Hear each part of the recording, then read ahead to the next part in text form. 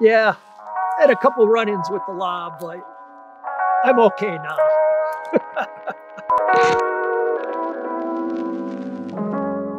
All right, Tony the Bone, let's hear about your Mazda RX-7 93. 93 RX-7. Had a 300ZX automatic, a Nissan. It was a dog. It could only hit about 120. Anyway, I took this for a ride and I'm going about 120 in third gear. I said, boy, I gotta get this one. Sure enough, I was driving a black one, but I said, I gotta get red. I call it ticket red. but anyway, it's a fun car. It's light. It's only 255 horsepower, but weighs about 2,800 pounds. What's that snake you got in the back of it? What, what, what do you call all them snake tubes you got back there? Oh, it has the Bose sound system in it. It's got the wave, and it's unique. It- it- It's pretty unique. It- cars have flaws. Back then, it's first year for the Mazda RX-7 that year. A couple little things. And what did you listen to in that jukebox? ACDC. Back in Black. Little Oh, Metallica, the Black oh, Album. boy. That was a chick magnet. I had to talk him into getting the wheels. The car didn't look right with those little bitty wheels on there. Yeah, so Move you up to the next level. I'm moving up. Now look at us. Look at us now. All these beautiful cars.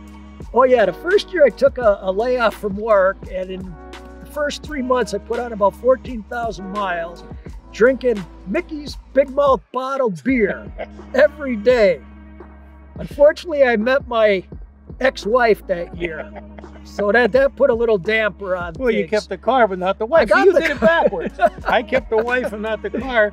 You But- kept the car and not the wife. I don't know. So in the last 20 some years, I only put on another 10,000 miles. So it's pretty pristine, you know what I mean? Now it barely comes out of the garage. Yeah, It's, it's a garage ornament, is what we call it now. I like looking at them. And then it don't start because the battery's been sitting in there for years. That's okay. Yeah, he might That's he might okay. spring for another one, but he's tight. 100, 150 bucks for a battery. Did he only going to start it maybe two times in the next 10 years? Yeah, I don't know if he'll go for that battery. I He uses know. my battery jumper box. It's cheaper. gotta love it. Yeah, I'm gonna I'm gonna have to gonna have to buy me a new battery box soon. You're gonna wear that up. Cheaper to buy the battery probably.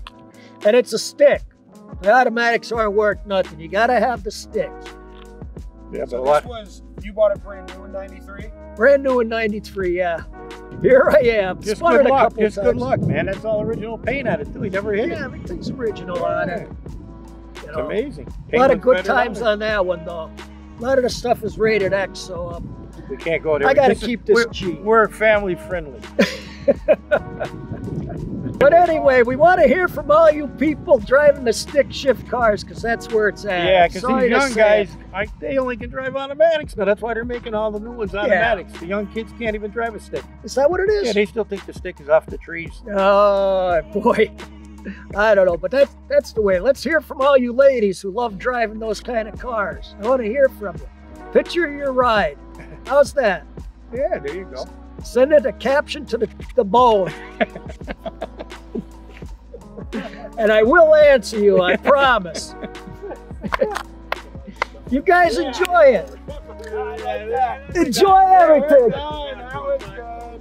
That was good. That was awesome.